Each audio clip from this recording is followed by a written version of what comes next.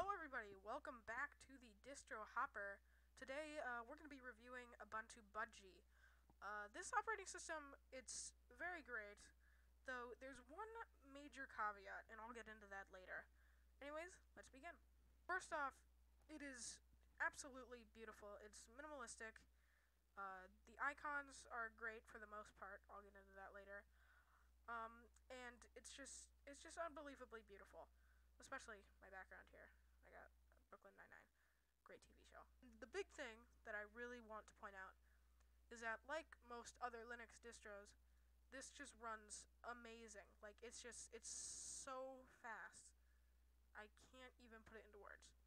Um, but we should really do a true test, and this is totally not an excuse, just so I can play some crab game.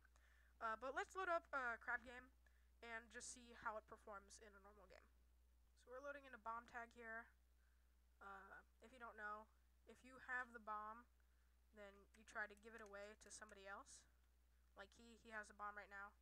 Like he's trying to give it away, like he just did right there. Uh, you don't want to have the bomb when it explodes, of course. Oh crap, he's got a bomb! Oh no, I've got a bomb.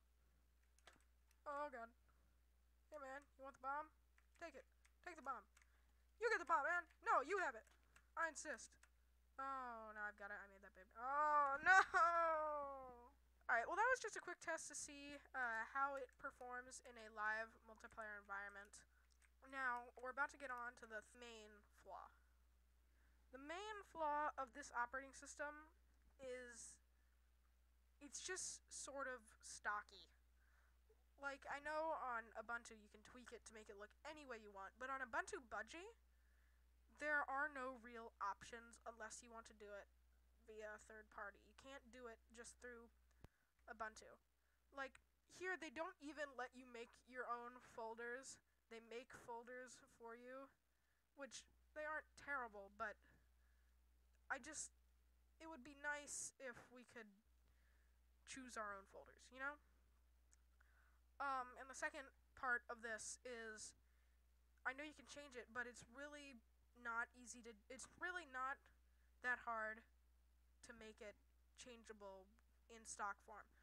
Like I could if they could just let us make folders and also if they could just make some better icons like there are three of the same icons right here and they, they could have at least made a, diff- a different color but it is it is what it is. Um, it's it is what it is. It's definitely changeable it's definitely, you can change it to make it look however you want. But if you really want to change it as much as you want, if you know what I'm saying, um, I would just stick with normal Ubuntu because Budgie, it's made, it's basically Ubuntu, but it's made to look slightly different. It look made to look more modern and minimalistic. But if you're not into that, or you just want to make it look a different style, like maybe you like having your Ubuntu look like Mac OS or Windows, um, then I would just stick to normal Ubuntu and change it via Ubuntu. Because Ubuntu, it's just, it's Ubuntu. It's been going strong for years and years and years, and Budgie is fairly new.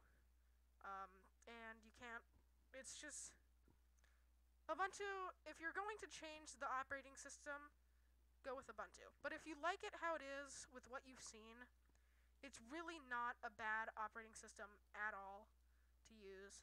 Um, it it loads fast. It works very nice. Um, and I don't really have any other bad things to say about this operating system. The only thing is that if you want to change it, stick with normal Ubuntu, because this won't do you any good. Um, if you want to see me do a full-on Ubuntu review, uh, definitely let me know down in the comments. Any distros you would like me to try, uh, make sure to put it down in the comments. Uh, and I'll see you maybe next week with a review on Elementary OS 6 Odin. Um, I hope you guys like that uh, idea. Uh, if you do, make sure to subscribe. Stay tuned for Elementary OS. Uh, anyway, goodbye.